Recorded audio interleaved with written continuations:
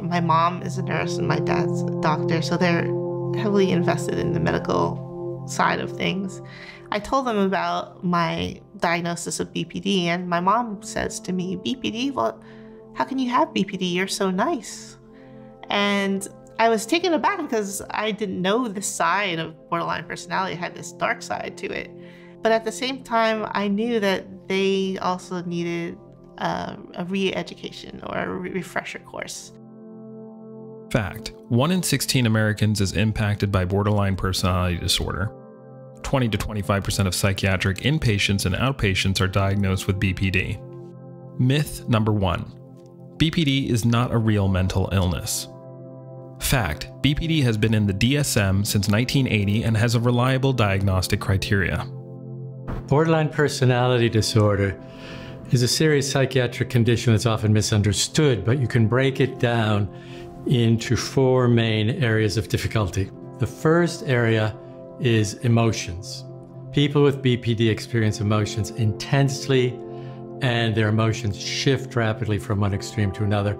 So it's like going through life on an emotional roller coaster. The second area of difficulty is interpersonal relationships.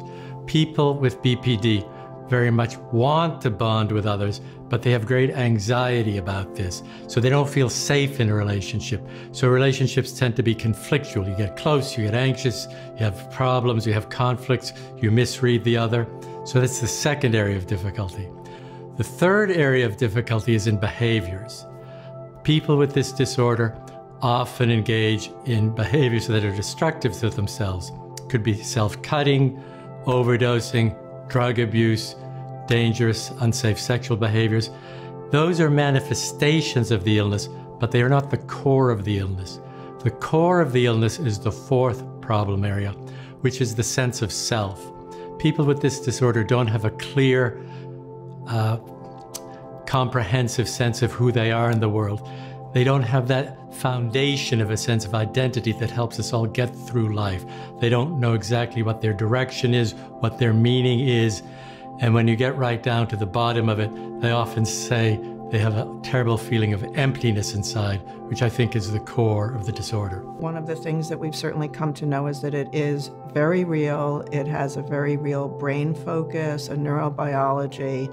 I think that it has suffered enormously um, in being thought of as a very sort of mood driven, the words that very uh, you know often sort of are connected with it manipulative totally inaccurate totally pejorative um, and i think that contributes to it as an illness that doesn't really somehow stand on its own